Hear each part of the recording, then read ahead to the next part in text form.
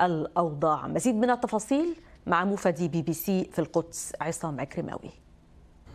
تمكن عدد من أعضاء الكنيست الإسرائيلي من الأحزاب اليمينية المتطرفة من اقتحام سجن سدي تيمان في النقب بعد اعتقال تسعة جنود من قبل الشرطة العسكرية الإسرائيلية اتهموا بالتنكيل بمعتقل فلسطيني أحضر إلى هذا المكان وتم تعذيبه بطريقة وحشية كما تقول الأنباء.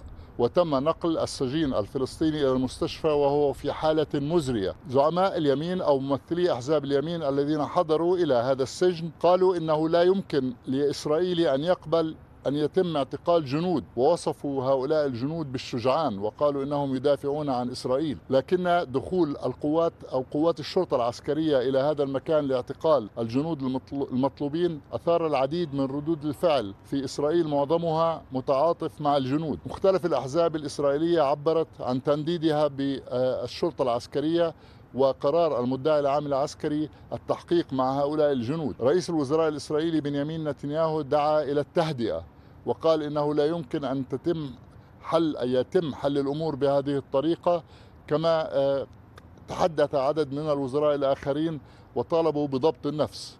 هذا التطور يعتبر خطيرا جدا بالنسبة لإسرائيل أن يكون هناك مواجهة بين قوات الشرطة العسكرية وقوات الجيش في هذه القاعدة. هذا السجن أقيم على عجل لاستضافة أو لكي يتمكن من احتجاز عدد من الأشخاص الذين تقول إسرائيل أنهم مسلحون من حركات الفلسطينية المسلحة في قطاع غزة ومن قوات النخبة كما تطلق عليهم.